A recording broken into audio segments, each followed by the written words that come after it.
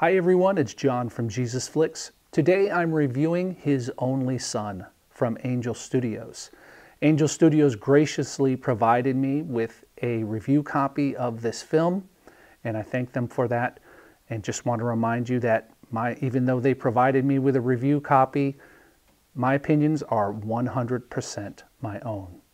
So, what's His Only Son about? Well, it's about the story of Abraham taking Isaac to Mount Moriah to sacrifice him and God providing a substitute so that Abraham doesn't have to sacrifice his only son.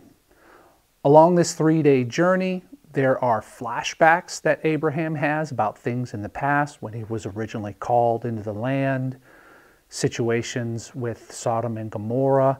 There's conversations with his servants and slaves that, while you don't see in the Bible, I think are true to the original narrative. This is a very somber and contemplative film. The actors are allowed to act. They don't tell you how they're feeling, they show you how they're feeling. Okay, so let's put the matrix up that we always go by when we're reviewing a film, and let's take a look at the story of this film. Well, the story is a classic one. We know the story from the Bible, and within it are weaved the other stories that we know about Abraham. I think the writer and director, David Helling, did a really good job of expanding what we see in the scripture while staying true to the themes and the text of the passage. For the most part, it's pretty much a straight telling of what happened, and the embellishments suit the film. So the characters, well, they're classic characters Abraham, Isaac, Sarah, the servants of Abraham, Hagar, the midwife. These are all characters that we see in the Bible, we know in the Bible, and I think that they were well written and I think that they were portrayed well by the actors. So let's get into the execution. Normally I like to jump into the theme first before I talk about the execution, but I want to jump into that right now. This film was made on a $250,000 budget. And in Hollywood terms, that's like a day of shooting, right, for a lot of films. So I think that they did a great job with the budget that they had. I really like that Middle Eastern actors were used in the main roles, and I think it helped with the authenticity of the film. There's a little bit of CG in the film, and I think for the most part, if this were on television, it would be fine. I've, I've seen CG like this in movies.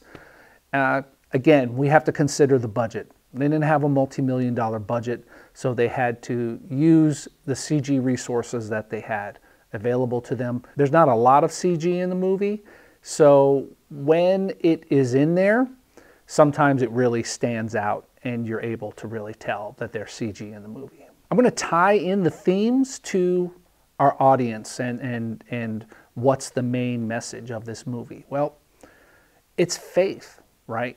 We have all been in situations where we look around us at our circumstances and we think to ourselves, why am I here, God? God, why is this happening to me? God, why do you want me to do this? And I think that's carried very well in this film. The actors are allowed to act, they're allowed to show emotion. Most of the time that Sarah is on screen, it's in these deep emotional situations. Um, Abraham's faith is kind of shown as very stoic, like this is what God wants us to do, and so we're going to do it. There are sparks of emotion at times, but for the most part, it's just, hey, God has called us to do it. And I think that oftentimes I find myself doing the same thing. I'm unemotional about things because if I let my emotions out, I feel like, oh, you know, I'm not going to be able to follow God through this trial that I'm going through right now. And so I just kind of flatly say, well, we're going to do what God wants us to do. There's a lot of that. There's also some very emotional scenes. One scene I particularly liked was after they had been called out of Ur and they were uh, in the land, Sarah, A- Abraham comes across Sarah praying to her to the old gods that they followed. And it's a very stirring scene and Abraham says, "Well, we don't we don't pray like this anymore."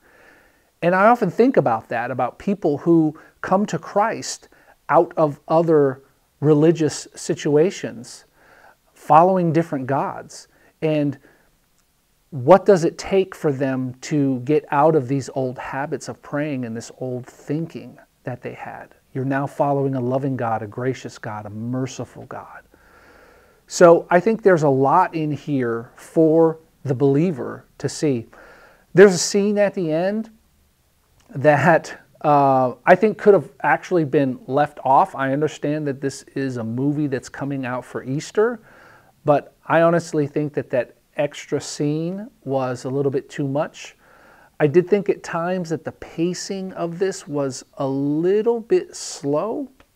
It did add to the somberness of the film, but I think a little bit too much. I think it dragged it down just a little bit too much. Overall, this is an actor's film. Actors are allowed to act and show you what they're feeling, show you what the characters are feeling.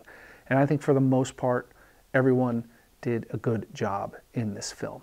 So it's out March 31st in theaters. You can get your tickets. Uh, there's a link in the description below where you can buy tickets online and see if it is playing in a theater near you. It is coming out from Angel Studios, so eventually it will be you'll be able to stream it. But for now, check it out. I think this would make a good Easter excursion for you and your family. I'm John. You've been watching Jesus Flicks, and I'll talk to you next time. Bye.